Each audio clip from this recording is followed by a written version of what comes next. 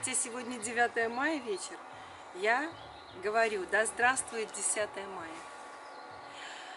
Но спорим, вы посмотрели название ролика и обратили внимание на ключевые слова «последний ролик». Почему он последний, я объясню в конце. А сначала я хочу объяснить, почему да здравствует 10 мая. Я уже когда-то говорила, ну не нравится мне это победобесие, которое просто в последние десятилетия складываются и сложились в наших двух странах соседних, вот в данной стране, где я нахожусь, и в одной из соседних стран. Не будем называть их. Каждый догадается, в какой стране. А, почему? Потому что идеологизированность этого праздника уже достала просто а, весь мозг. Я выпустила ролик «Иволга» под прекрасную песню. Кстати, автором музыки является Кирилл Молчанов. Это отец Владимира Молчанова, известного телеведущего, журналиста российского Владимира Молчанова. Я надеюсь, все его знают. Прекрасная песня, как раз в память о тех, кто реально воевал, о наших отцах. И я там все сказала. Мы тихо поминаем их каждый год, мы помним. Но я страшно не люблю вот эту а, идеологизированность, и когда а, этих ветеранов все не меньше становится, вот именно что ряженые ветераны ходят по этим всем парадам и так далее. Особенно в этом году, несмотря на юбилей, но здравый смысл никак не победил новейшую историю, и все-таки возобладал смысл нездравый – устроить во время пандемии, эпидемии, коронавируса, устроить вот этот вот... Причем, знаете, ну вот если по большому счету, я думаю, вы согласитесь, ну просто какой-то бедненький парад. Даже если взять эти самолеты, эти вертолеты, ну что в них такого нового? Пролетит один вертолет, два, потом по, по 3, 4, 5 самолетов прогудят. В чем здесь вообще особая фишка или смысл? В чем здесь парадность? В чем, где креатив? Где интересность? И вы знаете, когда я сегодня смотрела репортаж своего мужа, в конце, я не смотрела, его слушала, а в конце просто уже включила, слышу, он говорит, мы будем завершать, и тут идет женщина. Я надеюсь, вы видели явно жена какого-то или военного, или какого-то чиновника, явно такая жена, которая вот пришла не по воле такой, э, по радости, а вот просто по обязаловке. И уже идет с этого парада. А еще он спрашивает, так он же не закончился, что же вы идете? Ну, мы решили прогуляться. Ну, а вам понравилось? Да, очень все хорошо, очень хорошо. И вы знаете, вот вы пересмотрите этот эпизод. Я считаю, человек говорит по обязаловке, не от души, не от того, что реально ей что-то понравилось. Просто с таким напряжением, с такой вот напрягом. Я считаю, что это, это не парад, это просто... Во-первых, это парад преступления. Во-вторых, это парад безумства. И все, кто туда пошел, это продемонстрировали свою, ну, абсолютную негражданскую позицию – как граждан страны, проживающие здесь, и которые действительно э, как бы болеют за свою страну, за жителей своей страны, за их здоровье и вообще за здравый смысл. Потому что вот эта новейшая история за 26 лет вообще отбила мозги многим, а отбила мыслить критически, мыслить аналитически, а, вообще на что-то смотреть а, ну, с каких-то умных позиций весь народ можно разделить на тех, кто либо а. боятся страх, либо конформисты приспособились, хотя все понимают, и так, так же им все не нравится, но обыч чего не вышло. Либо вообще уже не развитые, не, не информированные, либо ленивые, просто ленивые люди, потому что не хотят ничего не делать, не знать, потому что легче всего жить и лучше не знать, как, как все что-то плохо, как все это нехорошо, так легче живется. Вот это, из-за этого не люблю вот этот весь э, победобесие и вот все, что вокруг этого. И я всегда с нетерпением жду 10 мая. Люблю, когда это уже было вчера. это, это 9 мая. Во-первых, мы опять отделились от всего цивилизованного мира, когда все просто это день памяти 8 мая. Скромно возлагают какие-то венки, как-то повспоминают ветеранов. А мы, конечно, вопреки планете всей, мы всегда отделяемся на все даты, вплоть до от религиозных праздников до политических. Ну и второе, почему последний ролик. Уважаемые все-все, кто хотя бы хоть один раз смотрел мои ролики, заходил на мой канал, спасибо вам большое. Хочу сказать, это последнее видео, которое я э, пошлю, разошлю вам добровольно, принудительно, с приглашением посещать или посмотреть э, какое-то очередное мое видео, ролик, песню и так далее. Не хочу быть навязчивой, возможно, кто-то из вас сейчас с облегчением вздохнет, потому что скажет, слава Богу, отстанет она со своими песнями, стихами и всякими роликами. Возможно, кто-то посожалеет, но это последний ролик, который я буду рассылать. Но это не последний ролик вообще. У меня в планах и дальше записывать песни, которые идут со мной по жизни или которые я выучила а, за последнее время. Могу э, с большим удовлетворением сказать, что я начала только с января года, ну, с, с Нового года и с января записывать.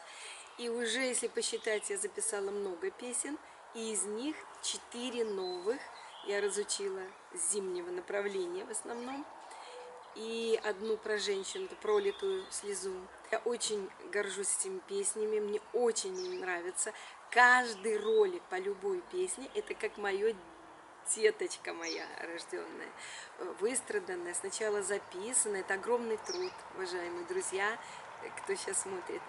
Вы знаете, от момента записи песни бывает по 5-6 роликов и дублей перезаписываю песню, прежде чем я выберу какой-то вариант, который, ну, более-менее мне понравился.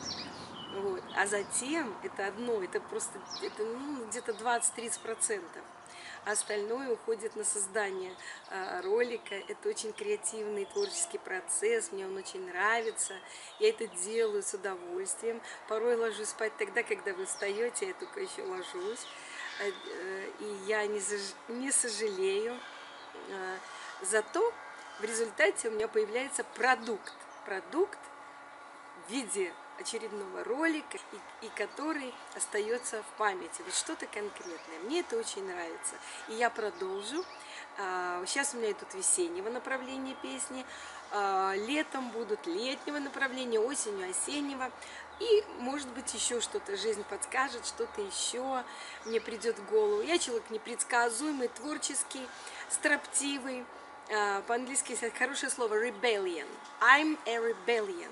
Я не люблю конформизм, не люблю рабское мышление, я не люблю э, все, что скажут, воспринимать сразу. Э, все это так, да, вы как сказали, так нужно сделать, нужно, это не нужно, есть в этом здравый смысл. Нету. Я всегда ищу здравый смысл и стараюсь делать так, как это лучше, как, э, и, и, и что принесет пользу. Поэтому это ролик в целом не последний, я продолжу.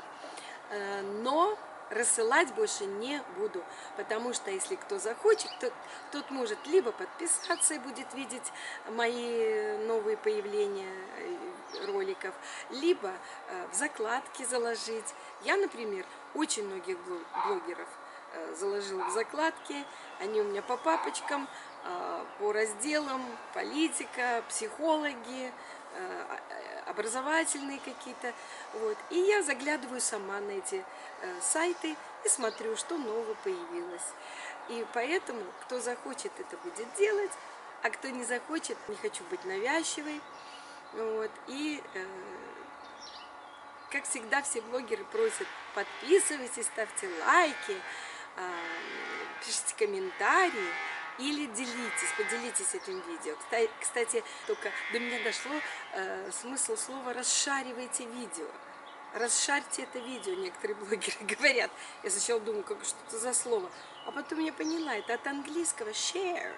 Share this video. Share. Да, шеринг сделайте. Вот и расшаривайте. Так вот, Кто захочет, это будет делать. Кто не захочет, я насильно мила не буду. Вот, поэтому я еще раз хотела бы поздравить а, с днем окончания Второй мировой войны. В этой Второй мировой войне принимали участие практически все страны.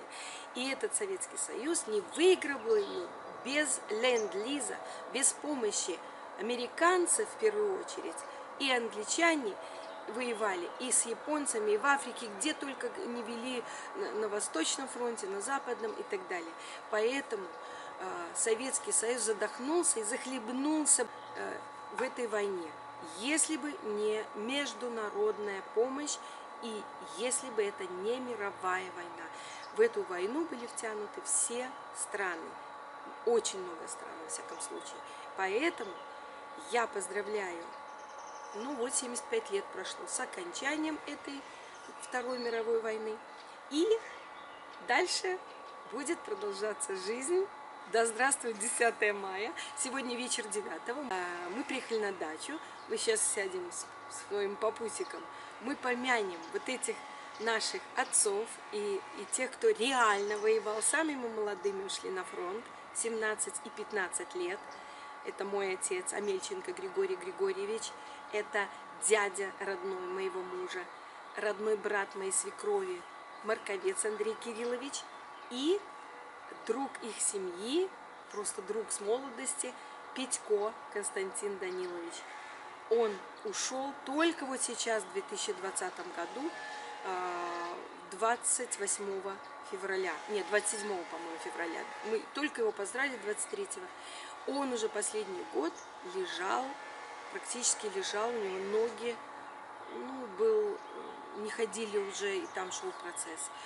А, вот такие ветераны. Так он ушел 17 лет. И мой отец, моего отца уже 93 -го года нет, а дядя Костя дожил до 20 -го года. И мы были на его поховании, и я его очень ну, любила, уважала. Он у нас был тамадой на нашей свадьбе с Олежкой. Он такой был, он так хорошо умел говорить, такой был весельчак. А тогда не было никаких диджеев на свадьбах. И родители мужа попросили его быть тамадой на нашей свадьбе. Он прекрасно справился, он вел ее очень хорошо, предоставлял слово, шутил, сам тосты произносил.